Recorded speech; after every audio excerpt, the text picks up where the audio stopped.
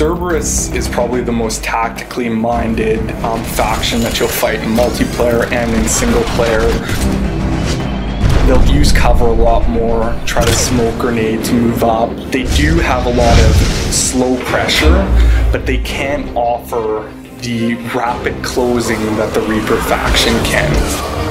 My favorite enemy is definitely the Phantom. They just force you to constantly be on the move. If you're in cover, they run at you with their sword. If you're out of cover, they're pounding you with their palm blaster.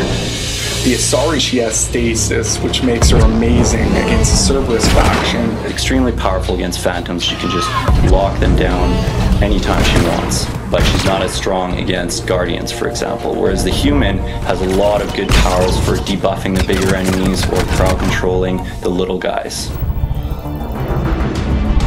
when you're fighting Geth, you have the troopers that are trying to close with you, put punishment down, but you also have pyros and Geth hunters covertly moving in on your location. So the most dangerous enemy on the Geth faction is the Geth Prime. You can spawn turrets, you can spawn uh, combat drones. Anyone with sabotage will have a great advantage against the Geth faction because they can actually hack Geth platforms and get them to fight each other. My favorite unit in the Geth faction is a Geth Pyro. You can take him from range by shooting his tank and having it explode and take out a bunch of units around him. So spatial awareness is extremely important when fighting the Geth.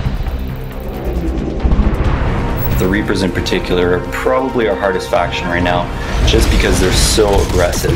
Uh, the Banshee, the Brute, the Ravager, they just come at you, and it's not like Cerberus where you can bunker down in an area and just take them out as they come. You really have to stay mobile.